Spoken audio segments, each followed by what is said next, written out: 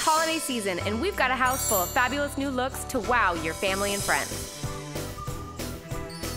From the yard to the front door, I've got the outside glowing. And I've got every inch of the inside looking perfectly festive. Our ideas will have your home totally decked out for the season. It's the HGTV.com Holiday House.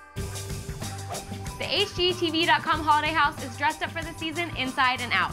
I'm freshening up the classic holiday decor with modern elements. If there's one flower that makes you think of the holiday season, it's the poinsettia. You can create your own poinsettias out of paper and fabric. Once you've got the technique down, you can really get creative. You can download a poinsettia leaf template off the internet or create your own on cardstock. This is going to be your template and it can be used to make the fabric, felt, or paper poinsettias. Keep in mind, each poinsettia is made up of 10 separate leaves, but you'll build it one leaf at a time. I used a pattern to trace 10 leaves and then cut out each leaf with scissors. To finish the first leaf, create a simple basting stitch at the interior of the leaf then pull it so that it creates a gathered effect. Do the same with another leaf and this time, stitch the two leaves together at their base. Repeat this until you have five together in a circle. Create a second flower in the same way, stitching together five leaves. Stack the two flowers on top of one another and stagger the back row so that the leaves peek out from behind.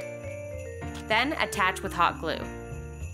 Add a button or decorative pin to the center with a dab of hot glue. Now that you know how to make the poinsettia, there are endless uses for them in your holiday decor, like this vertical garland. I've taken several small poinsettias and attached them with hot glue to a one inch ribbon. Just tack the ribbon above the window casing and let it hang down like a vertical garland. You can also use these to punch up your traditional green garland swagged on a staircase. Just tuck them in and attach with floral wire. Same goes for adding a fresh look to an old holiday wreath or a new one. This burlap wreath looks great with a few fabric poinsettias added. The rhinestone button embellishments round out the fresh look. If you've got the space, go big with your poinsettia project. The large scale and the fun fabric really give it a graphic punch. The largest one in this grouping is about 16 inches.